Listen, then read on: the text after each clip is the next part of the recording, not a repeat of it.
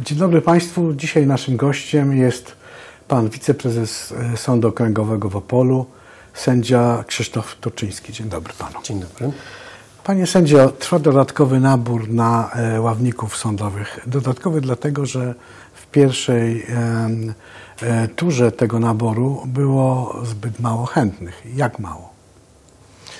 Rzeczywiście procedura naboru ławników, którą, która w tym roku została przeprowadzona, m, doprowadziła do y, wyboru około połowy y, ławników w stosunku do tych, y, do liczby, do liczby miejsc w, wydziałach ogółem, z tym, że w poszczególnych wydziałach różnie to wygląda. W jednych te braki są mniejsze, w innych bardziej dotkliwe. Do kiedy trwa ten dodatkowy nabór?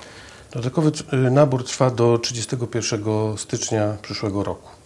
Czyli jeszcze jest e, miesiąc czasu na to, żeby chętni się mogli zdecydować.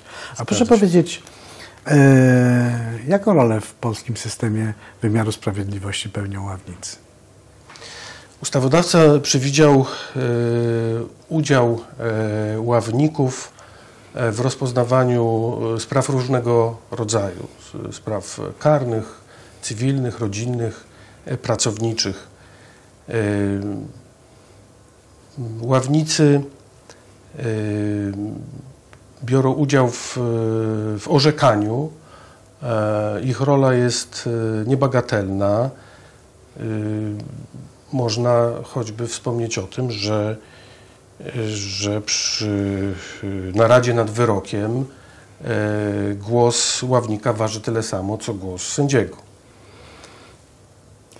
E, I, a jak e, e, ławników postrzegają właśnie sędziowie? Czy oni są e, jakąś pomocą dla nich, czy są jakimś głosem społecznym, czy raczej wyrażają ducha, ducha prawa, czy, czy literę prawa? Mogę powiedzieć, że my sędziowie obejść się bez ławników nie możemy.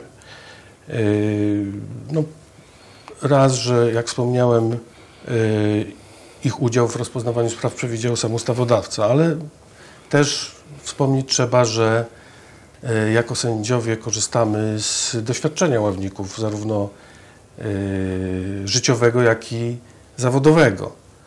E, Tak więc no, ich rola jest nie do przecenienia. Czyli są bardzo pomocni. Zgadza się. No w takim razie, jeżeli ktoś e, zdecydowałby się zostać ławnikiem, to e, wszelkie formalności można załatwić w biurze e, Rady Miasta. Tam też można poznać warunki, jakie należy spełnić, żeby tym mm, ławnikiem zostać. Rozumiem, że pan sędzia e, zachęca chętnych. Tak, chciałbym zachęcić Państwa do podjęcia się sprawowania funkcji ławnika sądowego. Swoje zaproszenie kier- kieruję y, do tych osób, które nie boją się nowych wyzwań, które y, są otwarte na zdobywanie nowej wiedzy, nowych doświadczeń, które chcą pełnić służbę dla społeczeństwa, y, zwłaszcza w tak zaszczytnej roli, jaką jest udział w wymiarze sprawiedliwości. Dziękuję panie sędzio za rozmowę i za spotkanie. Dziękuję Dziękuję. państwu.